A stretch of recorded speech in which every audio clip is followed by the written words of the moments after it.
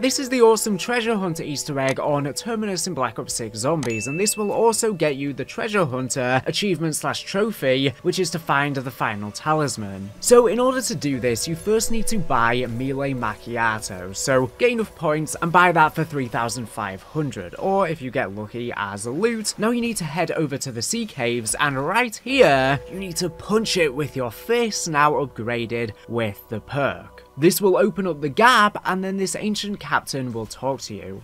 Hey, captain's quarters, keep out. No visitors till I start getting back what's mine.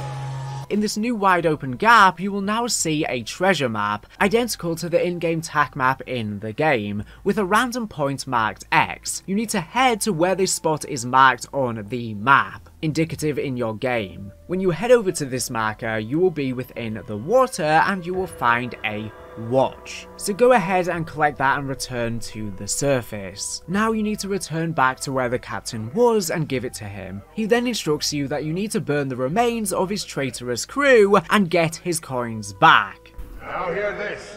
That old wristwatch you found is property of Captain Thomas Gray, U.S. Merchant Marine. Till my crew mutinied and ran us aground here. The lousy thieving stevedores. They stole my damned coin collection, and I'm in no shape to take it back. Whatever's left of my old crew, you burn the stinking bones to ashes. Am I clear? Dismissed.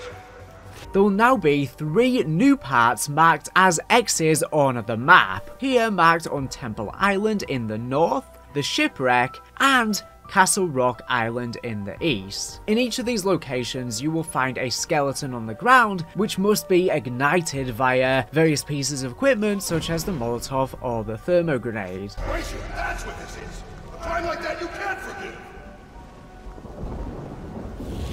In doing so, it will spawn a HVT Mangler, which you then have to defeat.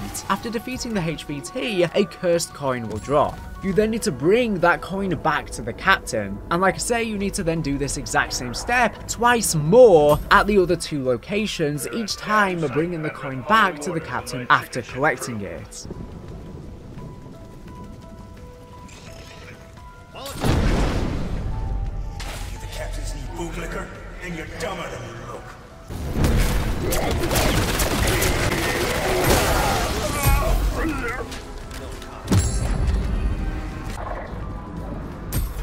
You know, sometimes I pretend these were the doubloons.